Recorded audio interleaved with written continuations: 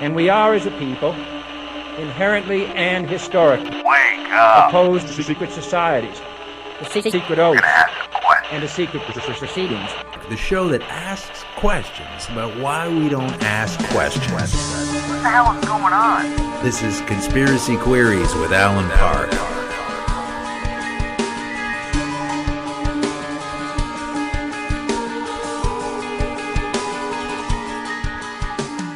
Welcome to Conspiracy Queries with Alan Park. These are the conspiracy queries that Alan Park is asking, and some people are listening and you're one of them. So thanks. And there's a lot of people popping up around the world, so that's nice. Um, I really appreciate that, and and a lot of the letters and and comments that have been coming in um, on the different ways through Stitcher and, and Twitter and Gmail and everything. It's fantastic. So thanks for listening, and I'm glad some of you are enjoying what is happening here. At least um, interested enough to find out. We have a great guest today. Jamie DeWolf is back, and he's going to talk about Scientology. Now, um, as I said before, uh, everybody has a crazy uncle. you don't have anything on Jamie DeWolf.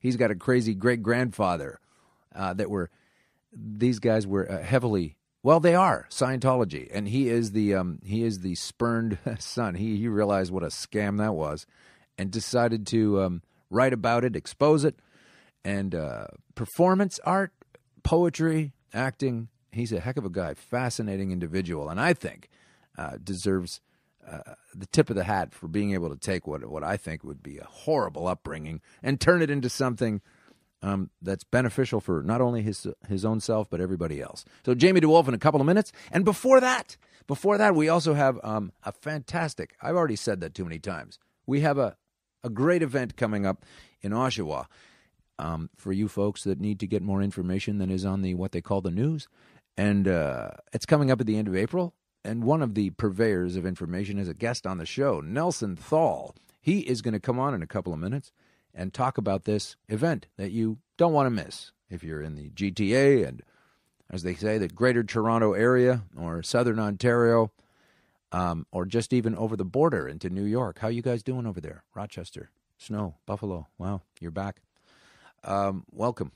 So he's going to be on in a little bit, but before we get to any of this, um, I guess you guys all heard about what happened in France and how there were shootings. And some people on my show and others have said that these shootings were not necessarily as um, as shown, and that there was some uh, secret, weird kind of manipulation going on. That's definitely the case in Canada with Operation Determined Dragon, the DND military operation that enveloped, completely surrounded the window of time that the guys uh, that were killed in Canada the uh, unfortunate victims of bullets flying from crazy people, no doubt. That is not in question. What's in question was ultimately who was in control, who was pulling the trigger.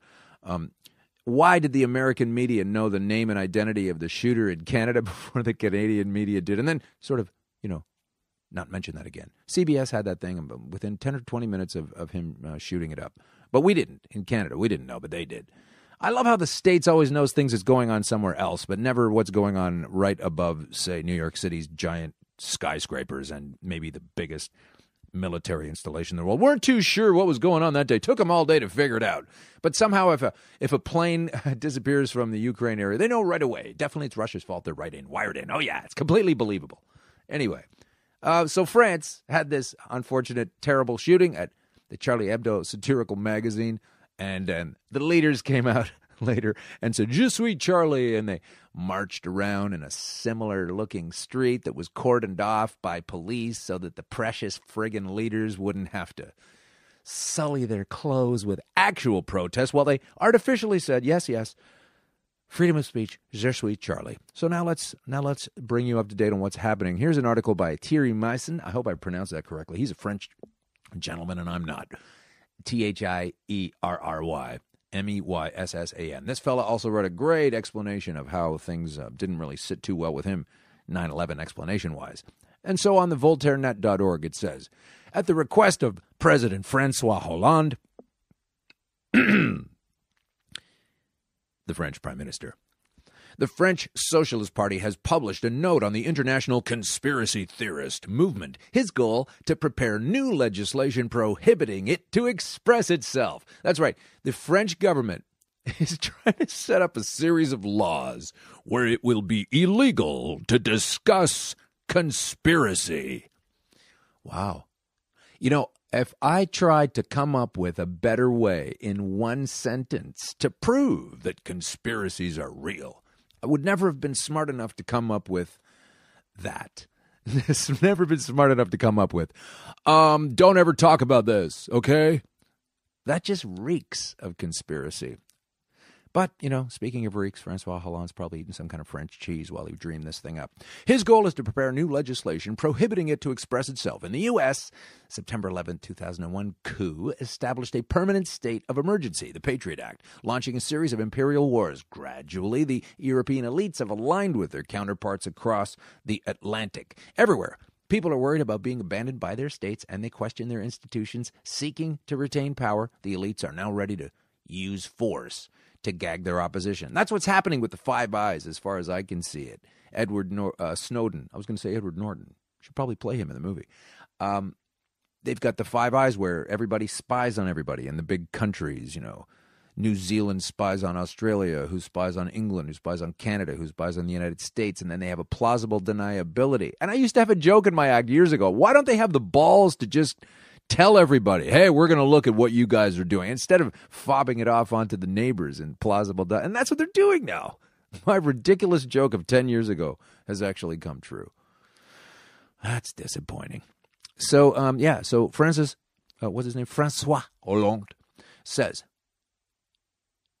Anti Semitism maintains conspiracy theories that spread without limits, conspiracy theories that have in the past led to the worst whatever that means. The answer is to realize that conspiracy theories are disseminated through the internet and social networks. So don't look at information and don't hang out with your friends. Moreover, we must remember that it is words that have in the past prepared extermination. Yeah. We need to act at the European level and even internationally so that a legal framework can be defined so that internet platforms that manage social networks are held to account and that sanctions be opposed for failure to enforce. Folks like me that are happy to reveal that these people are lying you into an unfree poorhouse. And they are kicking up those surveillance towers. And we got to stop this thing. I don't know how. I don't know how. I don't have any. I'm not going to say guns and killing and all that. I'm not going to do that kind of thing. That's not interesting to me. And I don't think it's the right answer. And it's what got us into the mess in the first place. So, with that kicking around your head, let's find out a little bit more from uh, Jamie DeWolf now. We're going to start off with him.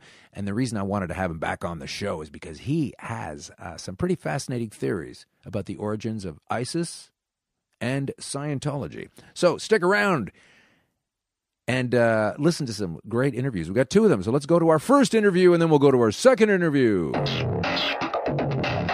Jamie is um, knows a lot about Scientology. I'm going to venture probably more than you, and we'll cover a little ground about um, who Jamie is and why he knows these things. It's available on the previous show from last year, but we'll just do a quick once over about Jamie's grandfather and some other people just to kind of catch you up. L. Ron Hubbard was actually my great grandfather, and my grandfather was L. Ron Hubbard Jr. And then my mother was his first child.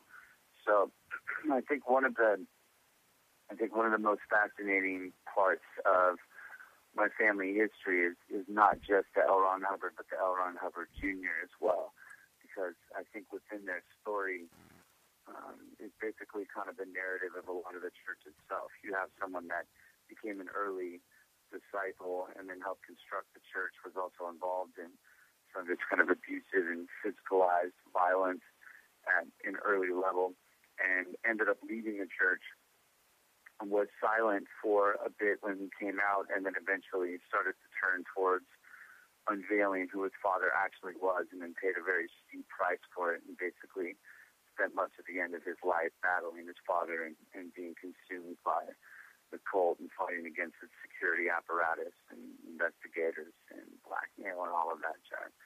And so, in a way, it's that their tale itself is the same tale you're seeing now um, that's even happening with people leaving the church. Like Marty Rathbun and Mike Rinder and so forth. Two people who are at the top level and they're involved in many kind of criminal activities in, in terms of using the cult's power against its own members and anybody that would try to bring forth the truth. And then when they leave, they're also suffered.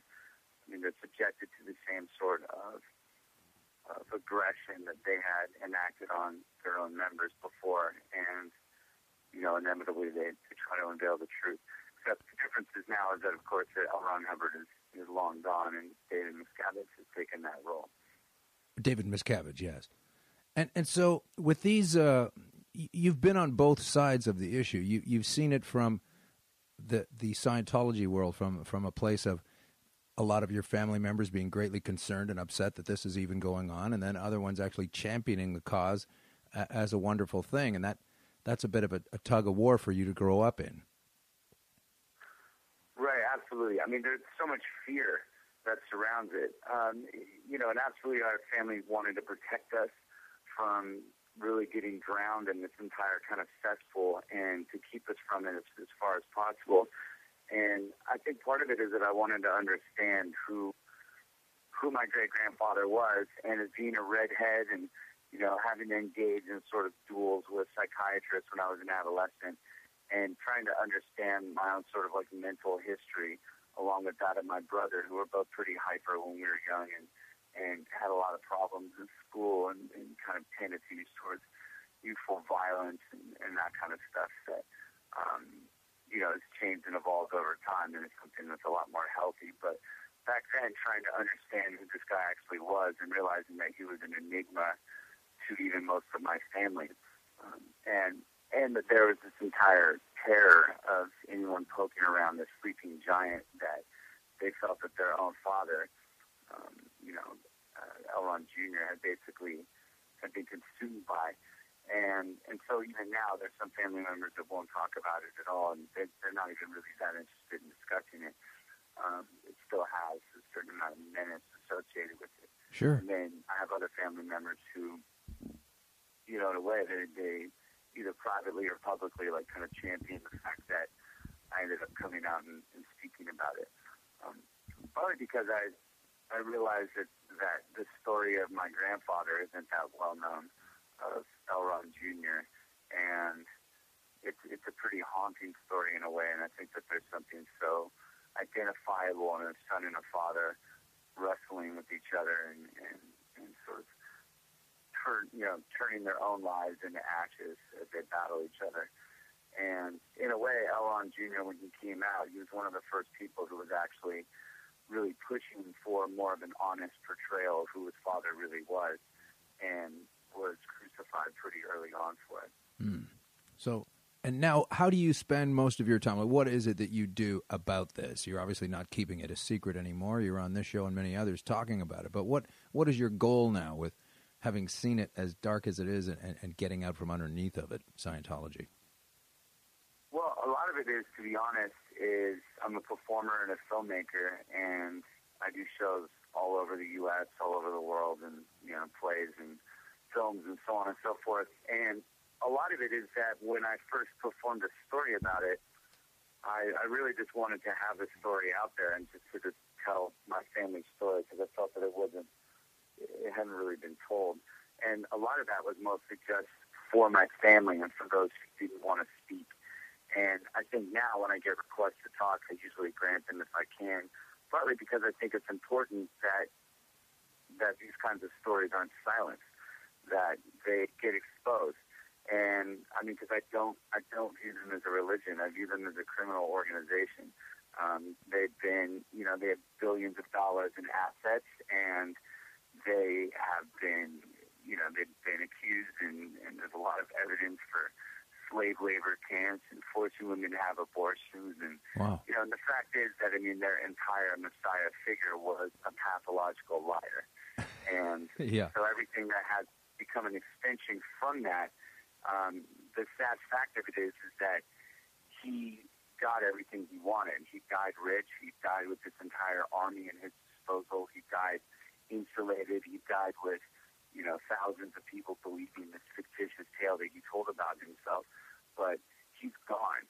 So conti- continue to exploit the members and to continue to exploit the world um, simply because of his purposes and his agenda that he had set in stone is no longer necessary. So it's like the least we can do is expose him for who, who he truly was and you know, allow people to, to make their own decisions. So these days it's it's being run and operated or uh, uh, captained, shall we say, a bit of an in joke, um, with with this David Miscavige, and so he's not um, he's not any of the uh, actual Scientologists, you know, the, the, the genetic link that is the uh, the Hubbard family. And does he therefore have an easier time uh, selling this stuff, not in his name, the way the way uh, those other guys were hanging it, uh, you know, on the very on their very selves. You know, it's like I invented this thing, and obviously Miscavige didn't and doesn't say he does. So does he have an easier time, as you say, running this thing um, like a very wise uh, opponent, a political organization? Yeah, I think that David Miscavige basically runs it like a lieutenant or an administrator or a very brutal CEO. And I think that there is a lot to be said, and what they're hoping for is that stre- that stretch of time where when someone dies, you can continue to add more myth to their legend, and at a certain point, make someone you know larger than life and someone that is less and less connections with reality. The problem is that L. Ron was spinning these tales when he was still alive, and he had living evidence that was saying otherwise. He had his own family, he had his own son, you know, he had his own military record. And what happens now is you play the game where you try to spin this entire myth of who L. Ron Hubbard was, who, of course, is now gone and doesn't have to go on record, doesn't have to have a microphone shoved in his face. And David Miscavige can basically just continue to echo the same propagated falsehoods that L. Ron said about himself. Um, the difference is, and, and sort of the weakness of that, though, is David Miscavige is not L. Ron Hubbard and doesn't have, or even really pretend to have the same kind of hustler charisma that he did. And at the same time, L. Ron wrote kind of a fatal flaw into the DNA of Scientology theology, which is that no one can add to it but him. So oh. they're absolutely stuck with this theology and this kind of um, pyramid pyramid scam that can't add any more steps. Even the Christians figured that out. I mean, even even after a while, the Pope was able to say, "Okay, okay, the world is really round. We were wrong about this. Sorry, Copernicus." You know, at exactly. least they got to fudge the it. Pope, and the Pope in the last thirty years can actually actually uh, decide that purgatory was a theological hypothesis and just eliminated entirely. I, personally, I do like when they come up with those, though. I, I do personally enjoy the adjustments based on um, uh, impending, you know, unavoidable logic and fact. Of it. Okay, okay, we used to say this, now we're going to say this. But Scientology does not have that angle. No, I mean, it, it, partly it's because when Dianetics first came out, and what a lot of people don't really seem to get, and I think it's a very strong, uh, fundamental, like, kind of underpinning to the evolution of Scientology itself is that it originally was not meant to be, it was not designed to be a religion. Right. It was designed to be a science. You know, L. Ron Hubbard really postulated himself as uh, a scientist. It's why he really pushed for this kind of, um, you know, he had taken these nuclear physics classes and had, you know, studied with all of these great fountains of wisdom. Is that Dianetics, when it originally came out, was, you know, the new science of the modern mind. It was meant to be a science, not a religion. And the problem is when you have something in science, you actually need case studies, you actually need evidence. And so when he was starting to get grilled and roasted on that, then he transformed into a religion.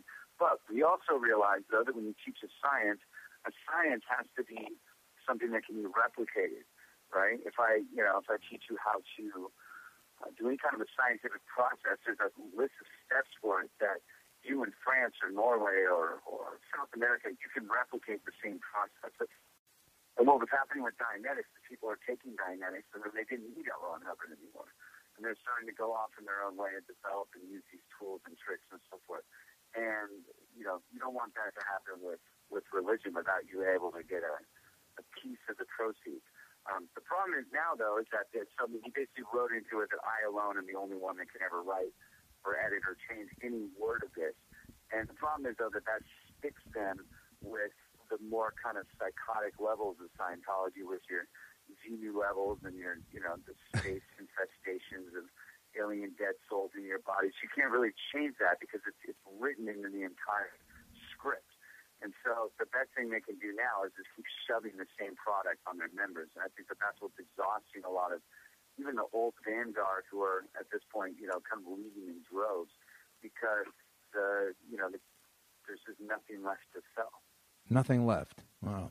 Well, tell us this then. Um, well, before we do that, let's let's just take a quick break and, and jump away. We are listening to uh, Jamie DeWolf. He's the guest today on Conspiracy Queries with Alan Park, Sirius XM channel 167. We'll be right back. As I said, we are right back, and we're with Jamie DeWolf, and uh, he is telling us about Scientology. Jamie, the last time we spoke, you were telling me about how uh, your, your grandfather was kind of an enforcer, keeping everybody to the task of the uh, religion or whatever it was at the idea, the time, a fantasy, a science fiction. But he held them to this. And then later, through the course of time and, and, and the uh, organization being around for quite some many years, it is a, as you've described it, highly organized and efficient opponent, and that it has um, when I say opponent, it has any anybody that counters it, I guess, would, would count as an opponent. And also tell us something a little bit about the mentality of an organization that is, you know, supposed to be the answer, but at the same time they are highly organized, efficient opponent and, and very wise and, and had a thing going on called Operation Snow White, which sounds more like a military application of, of intelligence than anything else. You, can you fill in some blanks there? When my grandfather first started in Scientology. This is L. Ron Jr. When he first became a member of Scientology and worked with his father, the very kind of easy hustle of Scientology is you come in under the presumption that you're going to be doing a course of self betterment. And while doing that course, you do what's auditing sessions, which is basically kind of a data version uh, uh, psychiatry you know, session of hypnosis and you're holding a form of, of a lie detector, basically. Sort of an, it's called an e-meter, and you're kind of subjecting yourself to this kind of hypnotic interrogation that is going to be digging through your past traumas, your your secrets, your sexuality, your um, you know everything that has ever ever triggered you throughout most of your life. Okay. Now, a lot of this is sort of the the idea that you're going to be becoming a better human being by discussing all these things. But what they don't really tell you, and, and what's often not focused on, is that they record all of your confessions. And if you try to leave, they're going to use this against you. And that's what my grandfather would do constantly when he had people trying to leave the church, especially if they're thinking in a good amount of cash, is they had already confessed their infidelities, their uh, sexual proclivities, and, you know, he had a lot of that on file. and himself as, you know, as a bit of an auditor, that that was a way for him to push people to, you know, not go too far from the church and make sure that they came back. Wow. And so when he even saw though that early on that there was this whole other darker apparatus of Scientology that was getting constructed.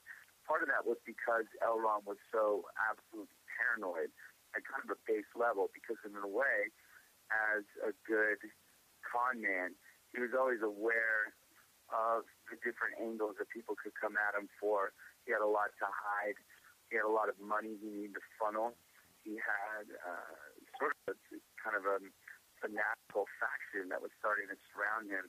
And he began to create his own secret police, um, which in the early days was known as the Guardian Office, and which is now known as OSA, Operation of Special Affairs. And in this guardian office, and this is all verified. This is this is you know people went to jail over this, and there's a slew of paperwork and evidence for this that led to FBI raids um, nationwide on Scientology offices. So anybody can look this up. And I think a lot of people in America absolutely are just not aware that one of the greatest counter, you know, intelligence surveillance operations in American history on domestic soil was enacted by Scientology. Uh, entire religion that has a tax exempt status. And a lot of the top ranked members, including L. Ron Hubbard's own wife, went to jail for this. And that was sending Scientology agents uh, to cover into all kinds of different branches, government, from IRS, State Department, uh, FBI, on, in all these offices, and sometimes in the guise of clerical jobs. And they would basically do Watergate-style break-ins of, huh. you know, breaking into offices, uh, copying any kind of information that was available on Scientology because a lot of these different arms of the government had different investigations into what this new cult was really about. Where is their money going? Why are there so many alarming reports about it? And Scientology was absolutely on the attack and wanted to destroy their own opposition, break it into psychiatrists' offices, all this kind of stuff, looking for this dirt and incriminating information, also understand what the government had and what they didn't have. And that led to the government raiding Scientology offices where they found out all the paperwork and protocols explaining all of this in great detail because Scientology is incredibly efficient at keeping notes. Records. And, uh, a lot of people went to jail over it. And L. Ron went into hiding after that and basically was one of the most elusive people of, uh, you know, the last century. I mean, basically like pulled a Bin Laden and was just like running around all over the world, running around the country. And they had a whole lot of people pulling all kinds of different counter surveillance tactics in order to hide him. And that was what was Operation Snow White. That Operation Snow White was part of many operations, and that was the way that they dealt with the world. Is their entire maxim was always attack, never defend, and that they were constantly trying to destroy their opposition. And they were highly organized and worked in a very kind of militaristic structure of, you know, a certain level of efficiency. So, I mean, these aren't, uh, you know, these aren't some just whack jobs, you know, running around in a commune. Right. You know, these are incredibly efficient, intelligent people. And I think in a way is that at the higher level of Scientology it becomes kind of intoxicating to have this sort of fanatical holy mission. Uh, you're trying to protect this theology that you believe is a true religion um, that was invented by this, this genius of the last century, L. Ron Hubbard, one of the most misunderstood geniuses of the last century, they believe. Um, someone who had unlocked secrets of the mind that were so dangerous that you have this entire worldwide, you know, uh, conglomerates of, of all the most powerful people trying to destroy L. Ron Hubbard and his religion. I mean, it has this whole sort of fanatical uh, philosophy behind it, so it really inspires them to crush their opposition at all costs because Scientologists at the top levels, they are told over and over that we alone are saving the world and that without us, the world is going to be suffer to, you know, nuclear annihilation. So without your efforts and without destroying our enemies, it's going to end. That's what you said. We alone are staying in the world. So that the, you're saying the, the Scientologists believe that after whatever kind of terrible stuff happens here, if there's a, a nuclear meltdown, they'll still be here. That's correct. Yeah, oh. they, they believe that we're all headed inevitably for an apocalypse, and that Scientology and the teachings of L. Ron Hubbard alone is the only thing that will save us from our trajectory for nuclear annihilation. A lot of Scientology is a very Cold War era type philosophy. Um, and a lot of what I think kind of jazzed L. Ron about the Cold War and working with the CIA and, and, and spycraft and all those elements, it just really kind of wove its way into the actions of Scientology agents. And to, you know, to be fair, there's a certain level of Scientologists that are only privy to this kind of information. Sure. At the lower levels, you're still taking classes, you're auditing, you're maybe scrubbing toilets, you know, for just, you know, a handful of change a day. You're not necessarily some sort of like secret agent, but right. certainly at the top levels, they're well well aware that this constant evolving level of damage control and you know under Miscavige is all I mean a lot of this stuff has still been going on. Yeah. So it was called a fair game policy, which they claim is no longer in action, but it's absolutely untrue, and you can find a lot of evidence even currently of you know Scientology agents running around with cameras trying to film conventions. Sure. Okay. Well, the la- uh, you know trying to uh, uh, um, surveil on on who is, is speaking and you know sending private detectives like literally living in the house across from Marty Rathbun for like two three years. I mean they still work in the same aggressive fashion. But that's what people need to understand is that like you know when you have that kind of fanatical vision that there is a at all costs and to what end kind of philosophy behind it. What a great. I mean, if I literally view that I'm trying to save the world and you're getting in my way, well, what is it to, to crush your enemy? Nothing.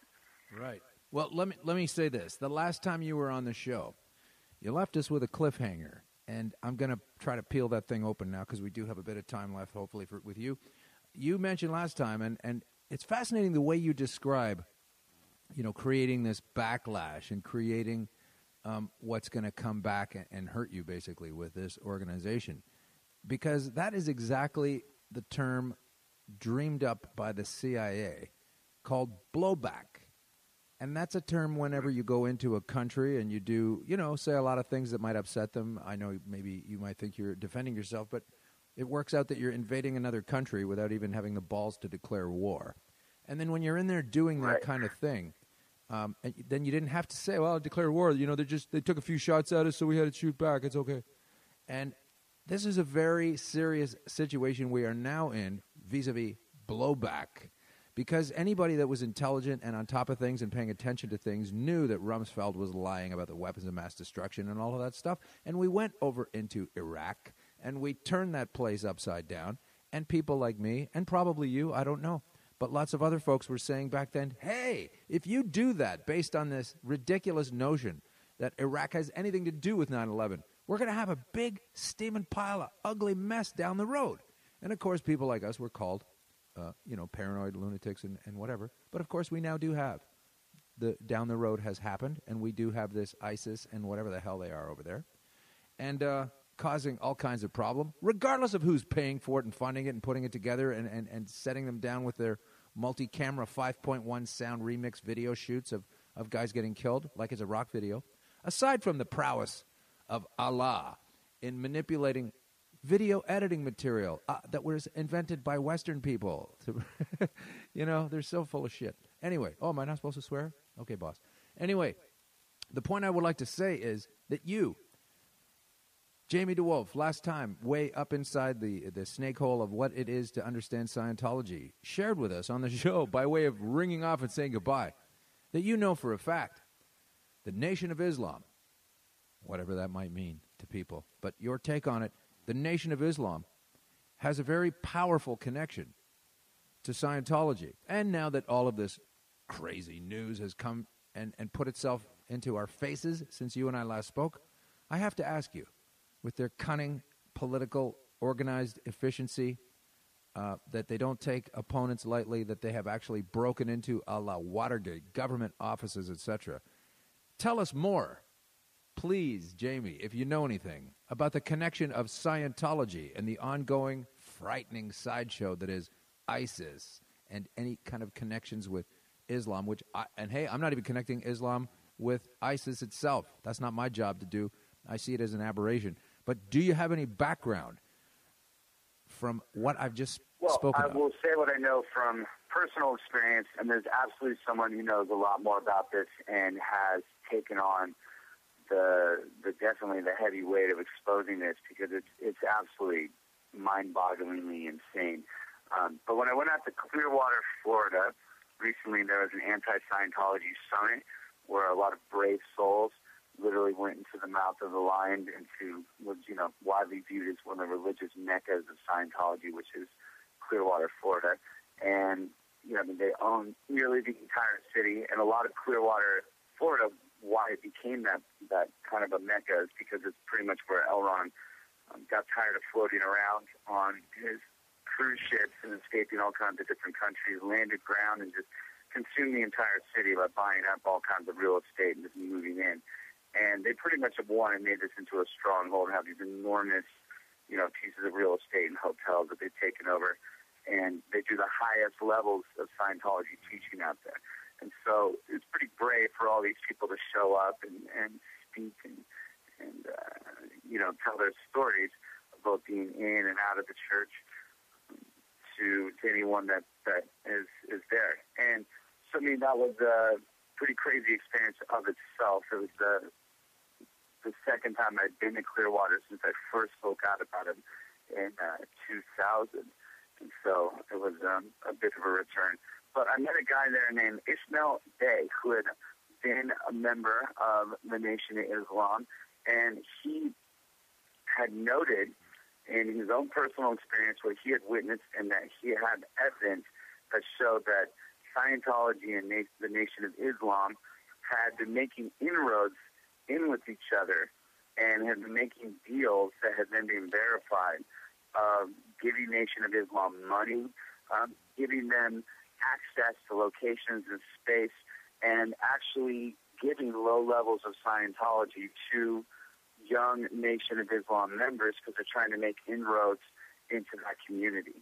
And actually seeing video of Elijah Muhammad holding up, uh, uh, uh, I'm sorry, not Elijah Muhammad, but the current leader holding up, uh, Farrakhan, I believe, holding up a, com- a, a copy of Dianetics and actually stating that, like, you know, some of the real truth is in here. And that was just like one of the most disturbing and, and out there wackety things I think I've ever seen in my life. to understand how this uh, ferociously paranoid um, and very white, uh, you know, kind of super sneaky, crazy corporate cult like Scientology attempting to partner with an equally strong and fierce and fanatical organization was to seem like a marriage made in hell. I don't think they have anything or any kind of connection to ISIS. I don't know anything about that. Um, but Ismail Bey would be a fantastic guest for you to have on your show. Okay. For you to talk about because he's done a lot of research into it, and a lot of it is that because he's absolutely horrified of seeing them attempting to make these inroads into his community and from where he's from. Um, probably because you know L. Ron was also a a racist and wasn't particularly like a friend to the African American community. Yeah. And so a lot of this is, is even more horrifying because it's, it's completely a paradox in of itself and it reeks of money and it reeks of opportunism. Sure. And so I think that there's a lot to be said and a lot to be investigated in terms of that. Oh, we don't do any of that, Jamie. No, no, no. We can't investigate anything. We just have to accept it, and it rolls through, and that's that. Have you not seen this? That's the new plan now. you just you just open it up and, and, and say, yeah, we're going to go do this, and people follow. You don't need to declare war. You don't need to investigate anything. You just say, I believe this, we're going in, and people go, yeah. Anybody else that disagrees with this is anti-American. I mean, there's a different climate now. Well, the question is, the question is now is that when you when you're an American, is that even with the Iraq War, with uh, you know, you look back in the days of even World War II, it's like you know, Hitler at least would would pull some false flag operations, but he would literally have the evidence enough to try to stage it. You know, he would put sure. the Polish soldiers in, in the costumes, you know, and, and shoot them and try to have evidence to justify war. I mean, the fact that we didn't even fabricate weapons of mass destruction shows how little they can they have to care. I mean, it's it's basically once you get in there and you start the war, then it's like, what are you going to do about it? How are you going to yeah. stop it? Well, that's that. I just had this comment last week with another guest, a great guy, Barry Zwicker. And, and before I leave, I have to make sure we get you the name of that men- you're mentioning. I have to spell it correctly. But a long time ago, you'll recall, um, you could get into some pretty serious political trouble by saying something that was perceived to be less than intelligent by some of us. For example, if you recall Dan Quayle having a tough time with the word potato. And we shredded that guy, and he said a couple other stupid things all pre internet, but it was enough for the late night hosts and everybody else to just completely destroy any kind of credibility. And how did his political career uh, go after that? Non existent. And yet today, that was then in the 90s in the late 80s. Now, today, you can say something like, I absolutely support removing all of the troops from Iraq one year, and the year later say, we are putting more troops into Iraq, and this is totally fine. You know, there, there's no.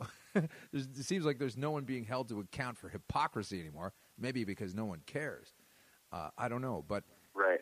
It, it's it's difficult to think that. No, I think I think apathy has risen an all time high. I think that the situation in the Middle East is either a confusing mess or is either being controlled or it's just kind of descending into utter chaos. I mean, a lot of it is that militaristically it makes no sense. You can't you can't just simply start a civil war in a country, then leave, and then expect for the country to stabilize themselves, and then also expect that after you bomb half the country and dispose its leaders, put sure. in puppet leaders of itself, to expect that suddenly the region is going to embrace and and respect our country, you know, and embrace our values.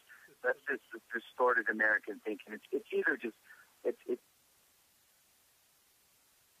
kind of psychotic self-image of of the love the world shares for America, or it's uh, you know I mean it's either that we are that stupid and then actually believe people are going to embrace our ideals and values, or that's just the kind of running joke that they say, well, we kind of do whatever we need to do to pursue our interests. I mean, actually naming the you know the second Iraq War, the uh, uh Operation Iraqi Freedom, was one of the most insulting jokes I've ever heard in my life. For Americans, for you know your southern bred, like flag waving, tobaccos, you know, spitting American to actually pretend that they cared about the life of an Iraqi was like so insulting to me. That was just so ludicrous. It was like, why, why are you suddenly pretending that you care about a Muslim country? Oh yeah. Uh, oh yeah. That you've been at war with. That's the most ludicrous thing ever. Oh, oh we gotta, you know, protect their freedom. It's like, I'm sorry. When did that matter to you? Why that mattered to you overnight when we couldn't find weapons of mass destruction, and then now you want to bomb them, now you want to kill them, and then now you want to free them. I got it. Okay, that makes sense. We have to defend it somehow. Mm. You really are one of the only people, and I guess you know that, who can who can go so dark into some of these rabbit holes. Um, I hope it's. I hope you're okay still. You know, with I hope you're fine. You got to get through this mess that we have in our lives sometimes, and and you've been right inside the belly of that beast. And I just find it so fascinating and, and helpful that you'll share this information to anyone that will listen. Great. Well, thank you very much. There's a great event coming up uh, soon on April 26th. It's in Oshawa, Ontario, Canada. So if you don't live in Ontario, you probably need to look that up. And um, I've got someone on the line who is going to tell us all about that great event and what it is and the name of it and who's involved. Here he is, Nelson Thall, one of the great contributors to Conspiracy Queries with Alan Park. He not only does that, he also uh, contributes to a lot of other programs and shows. And this wonderful event coming up. Nelson, how are you? Great, Alan. It's a real pleasure for you to have me on. Thank you very much. It is a real pleasure for me. How, do, how did you know that? Yeah. anyway, thanks for uh, coming on. Factors, I think it's a pleasure for me to be on. Well, it is a pleasure for you to hear me. Uh, so I'm just kidding. So listen, you've got a cool event coming up on April 26th, and this is going this is encompassing a lot of great speakers talking about things conspiracy, and you yourself are also presenting. Um, what are you presenting? I'm going to be presenting on my expertise is unpacking the Zapruder film. In the early 70s, I touched base with uh, Jim Garrison and Penn Jones, District Attorney Garrison. I met him through Penn Jones and was able to arrange for a copy of the Zapruder film. And I brought it back from Dallas in 1972, and it was illegal at that time to hold, have possession of. Remember, it was filmed by Abraham Zapruder in Dealey Plaza on November 22nd, 1963. Time Life bought it, and it was given used by the Warren Commission, and then it was sealed away for 75 years in the archives, not to be released. I was uh, Jim Garrison in '69 when he subpoenaed the film uh, uh, for the Clay Shaw trial. Was able to whip off over the lunchtime hour. He himself whipped off illegally a mm-hmm. copy of it. And it was from that version that I was able to get a copy from him and brought it back to Canada and got it aired on border stations in 1973. Okay, that's a fascinating story. Let, us just go back a little bit. So you obtained the Zapruder film itself, or a copy of it? A copy of it, not the original. No, a copy, a copy of it. Right, that's the one your friend made, and then you obtained this in California, or where'd you get it? I got it from uh, Penn Jones in, in Dallas. In Dallas. Okay, so now you're you're this young guy. You have a filmed copy that's illegal to have of the president uh, Kennedy getting killed and then you have to get it back to Canada. So yeah. that must have been fun. Yeah, that was quite interesting. Well, what I did was I had it so that Penn Jones would meet me at the Dallas airport, and um, and uh, in those years there was no security at the airport, and so any guest could come meet you sure. not just at the arrivals level. Put you right on the plane. He could come right to the to the gate. Yeah. And uh, Penn came to the gate, and uh, we did a little baton pass, so made it look like he. Uh, we had it hidden in a book. By the way, we had it hidden in a copy of uh, Tragedy and Hope. Oh, that's my favorite part. you took a copy of a, a, relatively hard to obtain blueprint of what's wrong with the world. Carroll Quigley's Tragedy and Hope. You cut pages and holes out of it, like in Mission Impossible, to put this Kennedy tape in. That yeah, is the yeah. coolest thing I've ever heard from a guy Yeah. that I know. oh, that's amazing. So you're going to talk about this And many, just- many more I- things. I'm sorry. I say you're going to talk about this and many, many more things at uh, at the event on the 26th of April. Yeah, I'm going to talk about not just how I got a hold of it, but more than that, I'm going to show the smoking gun quality of it and how why it is such a valuable piece of film. Now, this is something that a lot of people um, have already seen or think they've already seen. So, why is your um, why is your take on it any different from everybody else that's watched that thing a hundred times? Well, actually, um, I put it together with uh, some tape from a a journalist report. The only journalist who was able to view it, Dan Rather, and that's not usually done. That people show the film and the headshot and juxtapose that against Dan Rather's report about what he saw, because Dan Rather was the only man in the world uh, an obscure Texas reporter who was allowed to see the film on behalf of the nation and comment and report on it. And so we juxtapose that, and we're going to examine certain s- frames of the Zapruder film that sh- are smoking guns that really show how the single bullet theory is just fantasy. So, is Abraham Zapruder, you know, an actor, or or is he a real guy who was down there that day with a camera and, and took those pictures? yeah, Abraham Zapruder just happened to show up at that time uh, and uh, to Dealey Plaza with his camera and shoot this film. Okay, so he's not an actor as far as you're concerned. No, no, there was a real Abraham Zapruder. He was a Dallas dressmaker, just a simple, ordinary guy. Just took his camera down to watch the the Mhm. president's motorcade and by and just happened to catch this great piece of history. Right. Now, now there's no doubt that the Zapruder film has been altered. Uh, however, uh, the copy that I had was one that even then they had it was a copy given to the Warren Commission and it had been altered. But in spite of being altered, they still did not take out the smoking gun part of it that shows, of course, that John F. Kennedy was shot from the front, not from the rear, as where which is the official story. Sure. Yeah. Well, it sounds like a great night, a great evening with uh, some incredible information going on. Associate Mrs. Steele will be there that night, and she's going to be presenting on another interesting topic, which is the lost and found tribes of Israel. The lost, the famous ten lost tribes. She's going to show where they are today. That's Jane Steele. She'll be there. Also, we have um, Gary Chang. He is uh, talking about the mystery of the Holy Shroud. Of course, you mentioned Jane Steele yourself talking about the un- Zapruder film. And of course, uh, Rosemary Ellen Guiley on Spirit Communication, Ali Slatatan on UFOs, Gods, and Angels. Um, Canada's Edgar Cayce, a wonderful uh, um, researcher and writer and experiencer of things other realm wise. Dr. Douglas J. Cottrell will be there. They call him Canada's Edgar Cayce. He's going to talk about remote viewing and, and terrorism in the sky from Dr. John Hall, talking about um, satellite terrorism in America. You can get online to get this at um, zlandcommunications.blogspot.ca. That's one place. Z or Z, L A N D, communications.blogspot.ca. And you'll find there the ZNN event notice of the, um, what will we call this? This is, um, what's the official name of it? The Follow the Truth 2 conference, and they can also uh, look up more information at uh, the Follow the Truth conference or richardsyrett.com. Oh, okay. And then here's another one followthetruth.tv. Oh, So- sorry. So followthetruth.tv. Yes. That's okay. Yeah. We all do that. And uh, it's April 26th. We're talking about the money mafia, psychic spies, UFOs, JK, JFK's cover up, and the Holy Shroud. So that's that's quite an evening of conversation.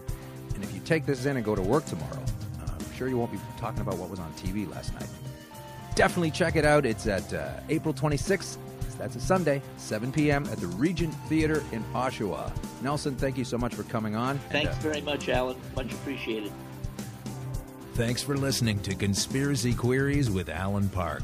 Please offer comments or complaints by emailing conspiracyqueries at gmail.com or on Twitter at con underscore queries or at our website, conspiracyqueries.com. Thanks for listening.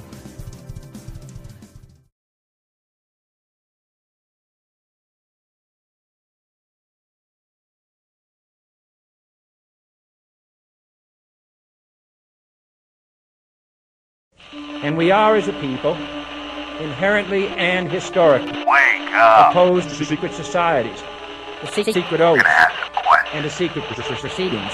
The show that asks questions about why we don't ask questions. What the hell is going on? This is Conspiracy Queries with Alan Park.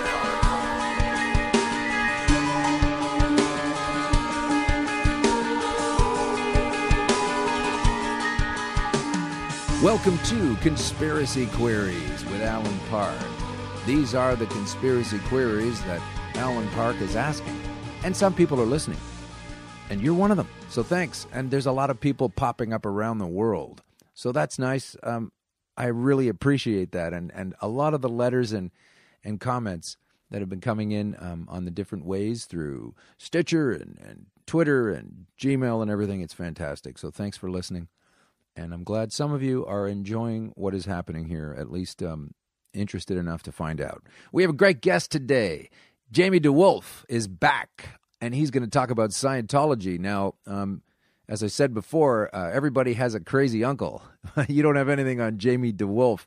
He's got a crazy great grandfather uh, that were, these guys were uh, heavily well, they are Scientology, and he is the um, he is the spurned son. He he realized what a scam that was, and decided to um, write about it, expose it, and uh, performance art, poetry, acting. He's a heck of a guy, fascinating individual, and I think uh, deserves uh, the tip of the hat for being able to take what what I think would be a horrible upbringing and turn it into something um, that's beneficial for not only his his own self but everybody else. So Jamie DeWolf in a couple of minutes, and before that, before that, we also have um, a fantastic. I've already said that too many times. We have a a great event coming up in Oshawa.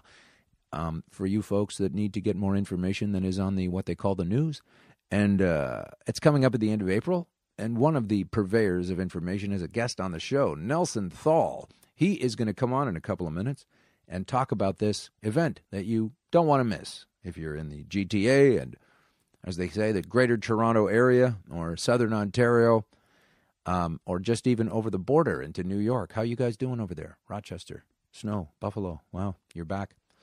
Um, welcome.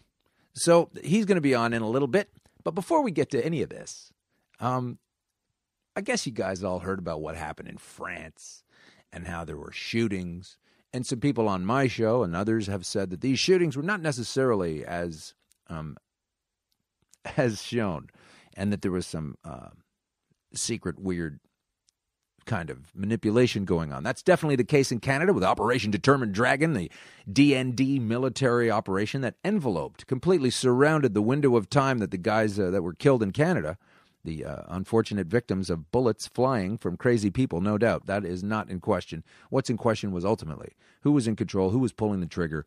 Um, why did the American media know the name and identity of the shooter in Canada before the Canadian media did? And then sort of, you know, not mention that again. CBS had that thing within 10 or 20 minutes of, of him uh, shooting it up. But we didn't in Canada. We didn't know, but they did. I love how the states always knows things is going on somewhere else, but never what's going on right above, say, New York City's giant skyscrapers and maybe the biggest military installation in the world. We weren't too sure what was going on that day. Took them all day to figure it out. But somehow, if a if a plane disappears from the Ukraine area, they know right away. Definitely, it's Russia's fault. They're right in, wired in. Oh yeah, it's completely believable.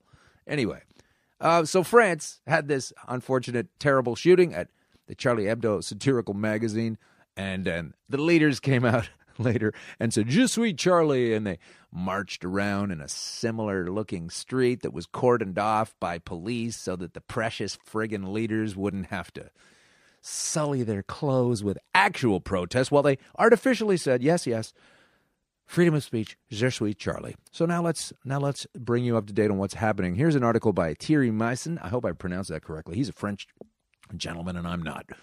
T H I E R R Y M E Y S S A N. This fella also wrote a great explanation of how things uh, didn't really sit too well with him, 9 11 explanation wise.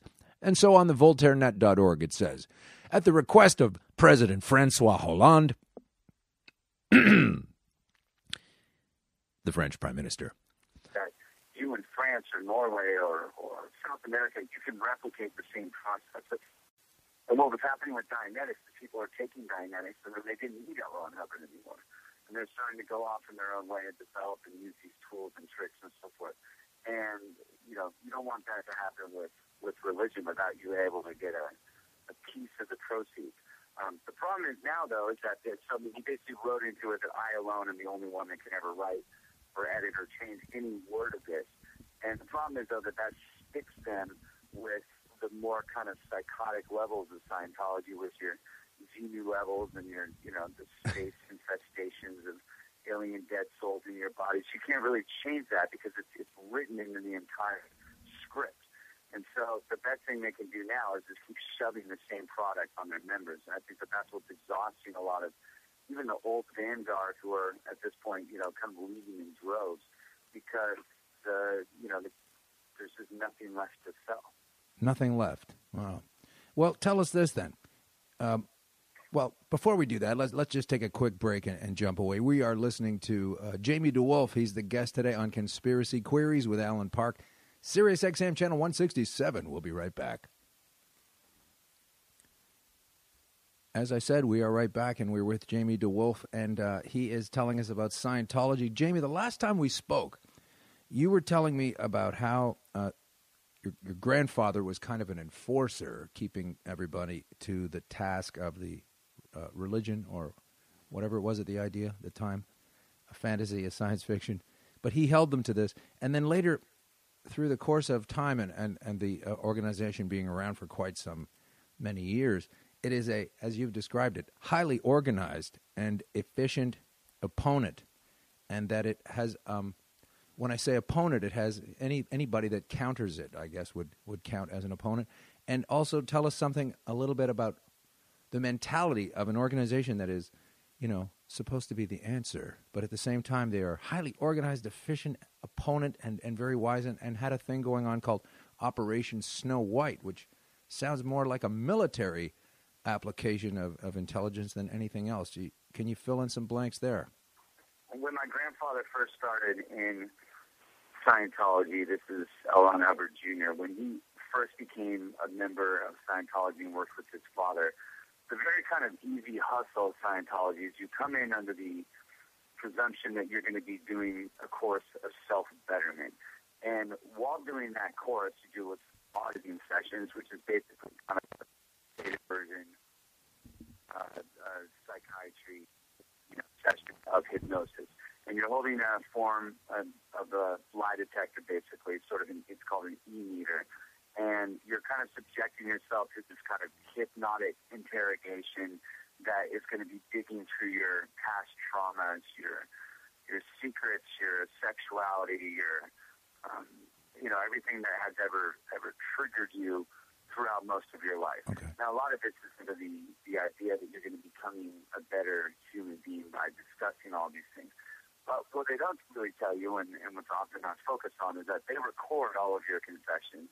And if you try to leave, they're going to use this against you. And that's what my grandfather would do constantly when he had people trying to leave the church, especially if they're thinking in a good amount of cash, is they had already confessed their infidelities, their uh, sexual proclivities, and, you know, he had a lot of that on file. and himself as, you know, as a bit of an auditor, that that was a way for him to push people to, you know, not go too far from the church and make sure that they came back. Wow. And so when he even saw though that early on that there was this whole other darker apparatus of Scientology that was getting constructed. Part of that was because L. Ron was so absolutely paranoid at kind of a base level because in a way, as a good con man, he was always aware of the different angles that people could come at him for. He had a lot to hide. He had a lot of money he needed to funnel. He had uh, sort of a, kind of a fanatical faction that was starting to surround him, and he began to create his own secret police, um, which in the early days was known as the Guardian Office, and which is now their tale itself is the same tale you're seeing now.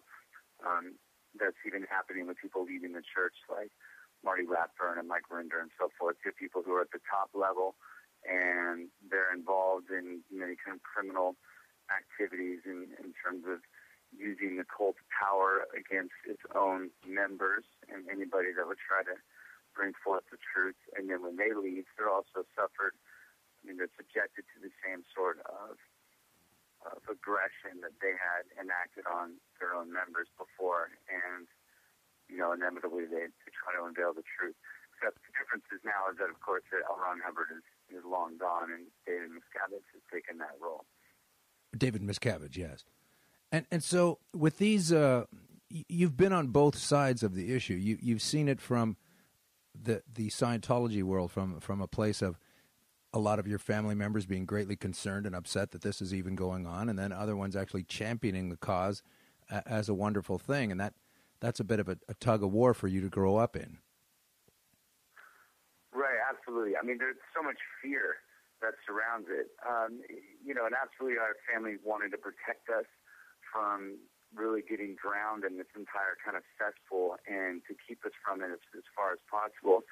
And I think part of it is that I wanted to understand who who my great grandfather was, and as being a redhead and you know having to engage in sort of duels with psychiatrists when I was an adolescent, and trying to understand my own sort of like mental history along with that of my brother, who were both pretty hyper when we were young and and had a lot of problems in school and, and kind of tendencies towards youthful violence and, and that kind of stuff that um, you know has changed and evolved over time and it's something that's a lot more healthy. But back then, trying to understand who this guy actually was and realizing that he was an enigma to even most of my family, um, and and that there was this entire terror of anyone poking around this sleeping giant that they felt that their own father, um, you know, uh, L. Jr. had basically had been consumed by.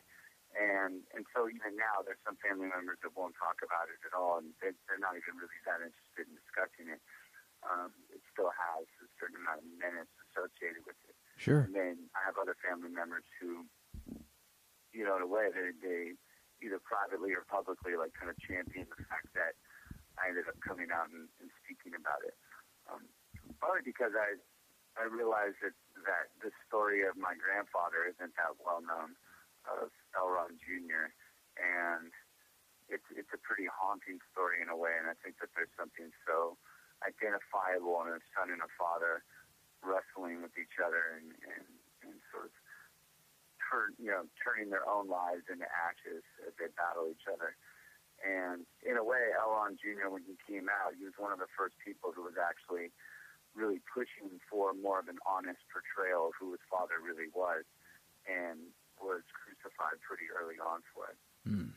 So, and now, how do you spend most of your time? What is it that you do about this? You're obviously not keeping it a secret anymore. You're on this show and many others talking about it. But what what is your goal now with having seen it as dark as it is and, and getting out from underneath of it, Scientology? Well, a lot of it is, to be honest, is I'm a performer and a filmmaker, and I do shows all over the U.S., all over the world, and you know, plays and films and so on and so forth. And a lot of it is that when I first performed a story about it, I, I really just wanted to have the story out there and just to just tell my family story because I felt that it wasn't it hadn't really been told. And a lot of that was mostly just for my family and for those who didn't want to speak. And I think now when I get requests to talk, I usually grant them if I can, partly because I think it's important that that these kinds of stories aren't silenced, that they get exposed. And I mean, because I don't, I don't view them as a religion. I view them as a criminal organization. Um, they've been, you know, they have billions of dollars in assets, and they have been, you know, they've been accused, and, and there's a lot of evidence for slave labor camps and forcing women to have abortions. And, Wow. you know, and the fact is that, I mean, their entire Messiah figure was a pathological liar. And Yeah. so everything that has become an extension from that, um, the sad fact of it is, is that he got everything he wanted. He died rich. He died with this entire army at his disposal. He died insulated. He died with, you know, thousands of people believing this fictitious tale that he told about himself. But he's gone. So to conti- continue to exploit the members and to continue to exploit the world um, simply because of his purposes and his agenda that he had set in stone is no longer necessary. So it's like the least we can do is expose him for who, who he truly was and you know, allow people to, to make their own decisions. So these days, it's it's being run and operated or uh, uh, captained, shall we say, a bit of an in joke, um, with with this David Miscavige, and so he's not um, he's not any of the uh, actual Scientologists, you know, the, the, the genetic link that is the uh, the Hubbard family, and does he therefore have an easier time? Uh, selling this stuff not in his name the way the way uh, those other guys were hanging it uh, you know on the very on their very selves you know? It's like I invented this thing and obviously Miscavige didn't and doesn't say he does. So does he have an easier time as you say running this thing um, like a very wise uh, opponent a political organization? Yeah, I think that David Miscavige basically runs it like a lieutenant or an administrator or a very brutal CEO. And I think that there is a lot to be said, and what- what they're hoping for is that stre- that stretch of time where when someone dies, you can continue to add more myth to their legend, and at a certain point, make someone you know larger than life and someone that is less and less connections with reality. The problem is that L. Ron was spinning these tales when he was still alive, and he had living evidence that was saying otherwise. He had his own family, he had his own son, you know, he had his own military record. And what happens now is you play the game where you try to spin this entire myth of who L. Ron Hubbard was, who, of course, is now gone and doesn't have to go on record, doesn't have to have a microphone shoved in his face. And David Miscavige can basically just continue to echo the same propagated falsehoods that L. Ron said about himself. Um, the difference is, and, and sort of the weakness of that, though, is David Miscavige is not L. Ron Hubbard and doesn't have, or even really pretend to have, the same kind of hustler charisma that he did. And at the same time, L. Ron wrote kind of a fatal flaw into the DNA of Scientology theology, which is that no one can add to it but him. So Oh. they're absolutely stuck with this theology and this kind of um, pyramid pyramid scam that can't add any more steps. Even the Christians figured there's no that out. I mean, even stuff. even after a while, the Pope was able to say, "Okay, okay, the world is really round. We were wrong about this. Sorry, Copernicus." You know, at least they got to fudge the it Pope, and the Pope in the last 30 years can actually actually uh, decide that purgatory was a theological hypothesis and just eliminated entirely. I, personally, I do like when they come up with those, though. I, I do personally enjoy the adjustments based on um, uh, impending, you know, unavoidable logic and fact of it. Okay, okay, we used to say this, now we're going to say this. But Scientology does not have that angle. No, I mean, it, it, partly it's because when Dianetics first came out, and what a lot of people don't really seem to get, and I think it's a very strong, uh, fundamental, like, kind of underpinning to the evolution of Scientology itself, is that it originally was not meant to be, it was not designed to be a religion. Right. It was designed to be a science. You know, L. Ron Hubbard really postulated himself as uh, a scientist. Is why he really pushed for this kind of, um, you know, he had taken these nuclear physics classes and had, you know, studied with all of these great fountains of wisdom. Is that Dianetics, when it originally came out, was, you know, the new science of the modern mind. It was meant to be a science, not a religion. And the problem is when you have something in science, you actually need case studies, you actually need evidence. And so when he was starting to get grilled and roasted on that, then he transformed into a religion. But we also realized, though, that when you teach a science, a science has to be something that can be replicated, right? If I, you know, if I teach you how to Uh, doing kind of a scientific process. There's a list of steps for it. The French Socialist Party has published a note on the international conspiracy theorist movement. His goal to prepare new legislation prohibiting it to express itself. That's right. The French government is trying to set up a series of laws where it will be illegal to discuss conspiracy. Wow.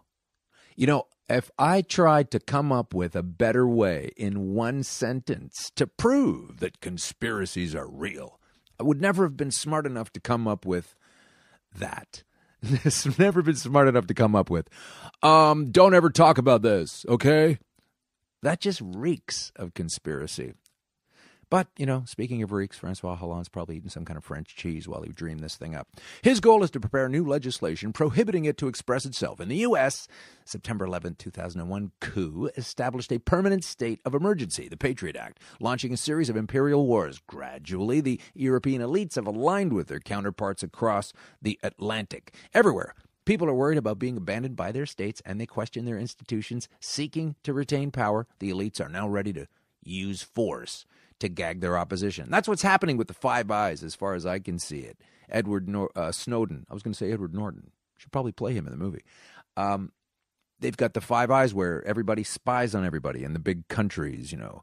New Zealand spies on Australia, who spies on England, who spies on Canada, who spies on the United States, and then they have a plausible deniability. And I used to have a joke in my act years ago. Why don't they have the balls to just tell everybody, hey, we're going to look at what you guys are doing instead of fobbing it off onto the neighbors and plausible. and that's what they're doing now. My ridiculous joke of 10 years ago has actually come true. That's disappointing. So, um, yeah, so Francis, uh, what's his name? Francois Hollande says Anti Semitism maintains conspiracy theories that spread without limits, conspiracy theories that have in the past led to the worst, whatever that means. The answer is to realize that conspiracy theories are disseminated through the internet and social networks. So don't look at information and don't hang out with your friends. Moreover, we must remember that it is words that have in the past prepared extermination. Yeah. We need to act at the European level and even internationally so that a legal framework can be defined so that internet platforms that manage social networks are held to account and that sanctions be opposed for failure to enforce. Folks like me that are happy to reveal that these people are lying you into an unfree poorhouse. And they are kicking up those surveillance towers. And we got to stop this thing. I don't know how. I don't know how. I don't have any. I'm not going to say guns and killing and all that. I'm not going to do that kind of thing. That's not interesting to me. And I don't think it's the right answer. And it's what got us into the mess in the first place. So, with that kicking around your head, let's find out a little bit more from uh, Jamie DeWolf now. We're going to start off with him. And the reason I wanted to have him back on the show is because he has uh, some pretty fascinating theories about the origins of ISIS and Scientology. So, stick around and uh, listen to some great interviews. We've got two of them. So, let's go to our first interview and then we'll go to our second interview. Jamie is um, knows a lot about Scientology. I'm going to venture probably more than you, and we'll cover a little ground about um, who Jamie is and why he knows these things. It's available on the previous show from last year, but we'll just do a quick once over about Jamie's grandfather and some other people just to kind of catch you up. L. Ron Hubbard was actually my great grandfather, and my grandfather was L. Ron Hubbard Jr., and then my mother was his first child. So I think one of the I think one of the most fascinating parts of my family history is, is not just the L. Ron Hubbard, but the L. Ron Hubbard Jr. as well. Because I think within their story um, is basically kind of the narrative of a lot of the church itself. You have someone that became an early disciple and then helped construct the church, was also involved in some of its kind of abusive and physicalized violence at an early level and ended up leaving the church and was silent for a bit when he came out and then eventually started to turn towards unveiling who his father actually was and then paid a very steep price for it and basically spent much of the end of his life battling his father and, and being consumed by the cult and fighting against its security apparatus and investigators and blackmail and all of that jazz. And so, in a way,